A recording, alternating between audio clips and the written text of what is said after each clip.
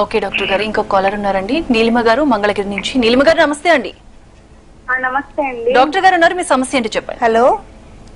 Hello నమస్తే doctor గారు. నమస్తే నీలిమ గారు. చెప్పండి. నాకు హెయిర్ ఫాల్ బాగా అవుతుందండి మధ్య. ఓకే ఏజ్ ఎంత మీది? ట్వంటీ ఫోర్ ఇయర్స్ అండి. మ్యారేజ్ అయిందా మీకు?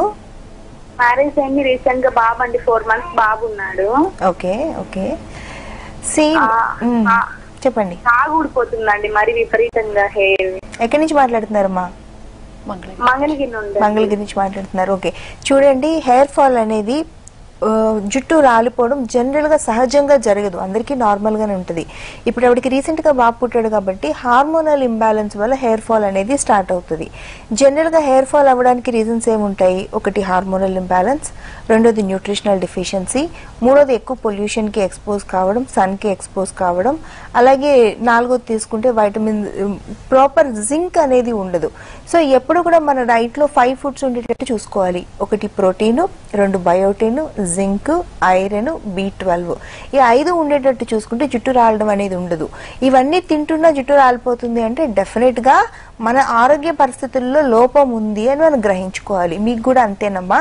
మీకు డెలివరీలో థైరాయిడ్ కానీ పీసీఓడి అలాంటి ప్రాబ్లమ్స్ ఏమైనా డెవలప్ అయినా ముందు నుంచి ఉన్నా కూడా జుట్టు రాలిపోతూ ఉంటుంది. సో ఇబ్బంది పడకండి. కానీ ఒక్కసారి మిమ్మల్ని చూడాలి. చాలా మంది చేసే తప్పు ఏంటి ఆడవాళ్ళలో కానీ మగవాళ్ళలో కానీ ఇంట్లో చిట్కాలు పాటిస్తూ ఉంటారు. అలా పాటించడం వల్ల మనకు రాలిపోతున్న జుట్టు ఆగిపోతే పర్వాలేదు. ఆగకుండా ఉంటే మటుకు ఇమీడియట్గా డాక్టర్ని కలిస్తే మీ రూట్ కాజ్ ఏంటి అనేది డెఫినెట్గా ఐడెంటిఫై చేస్తాం. ఇప్పుడు ఒక సింగిల్ మినరల్లో సింగిల్ వైటమిన్ డిఫిషియన్సీ ఉంటుందండి. చాలా మందికి బయోటిన్ డిఫిషియన్సీ ఉంటుంది. దాన్ని మనం సబ్స్టిట్యూట్ చేసాం అనుకోండి హెయిర్ ఫాల్ ఇమీడియట్గా ఆగిపోతుంది.